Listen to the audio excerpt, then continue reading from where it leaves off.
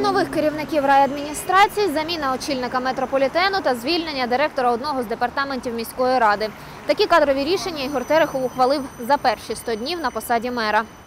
Керувати метрополітеном Терехов призначив Андрія Гармаша. Раніше він був заступником директора підприємства. Звільнив мер директора департаменту земельних відносин Олексія Калину. Підставою став прогул робочого дня. Адміністрацією Московського району тепер керує Олексій Топчій, колишній очільник комунального підприємства Харківміськліфт. Відповідати за питання цифрової трансформації мер призначив Сергія Кузьміна, якого звільнили з Державної архітектурно-будівельної інспекції. Адміністрацію Холодногірського району очолила Неллі Цибульник, донька керівниці Новобаварського району.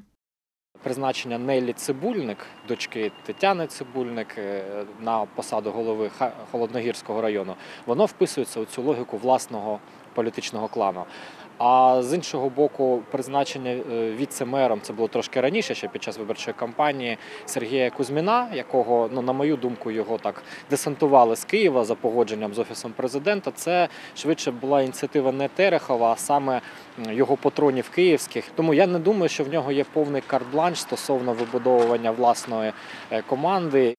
До перемоги на виборах Ігор Терехов фактично рік керував містом після смерті Геннадія Кернеса. Серед його передвиборчих обіцянок були, зокрема, початок будівництва станцій метро Державінська та Одеська у 2021 році.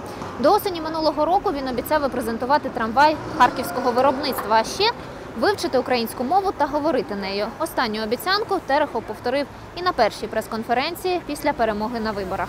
Вже вивчаю українську мову, е, тому буду розмовляти е, е, у тому числі і українською мовою.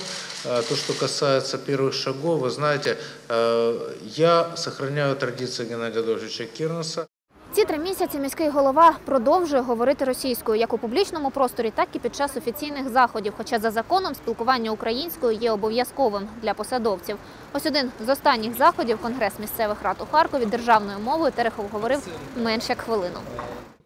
Хочу вас запевнити, що Харків завжди був, є і буде форпостом нашої країни у питаннях розбудови, збереження та захисту української державності. Вашого розрішення перейду на русский язик, бо мені так е, зручніше.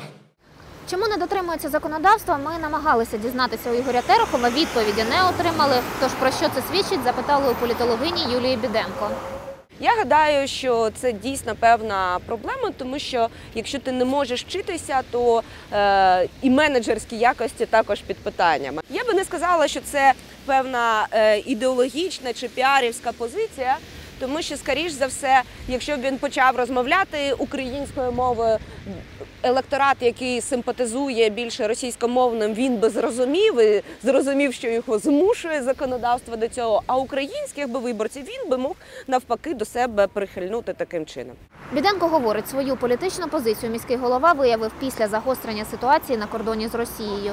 Коли почали доходити дуже загрозливі і суперечливі меседжі щодо Харкова, зокрема з іноземних медіа і від нашого президента, то Ігор Терехов е, він доволі чітко виявив українську позицію, незважаючи на те, що вона була сказана російською мовою.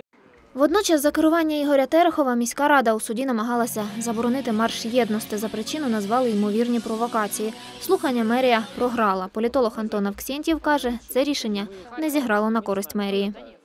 Це такий, напевно, за перші 100 днів його роботи.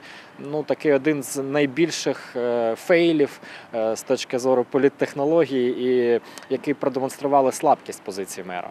До перемоги на виборах Терехов обіймав посаду секретаря міської ради. Востаннє на чергову сесію депутати збиралися влітку минулого року.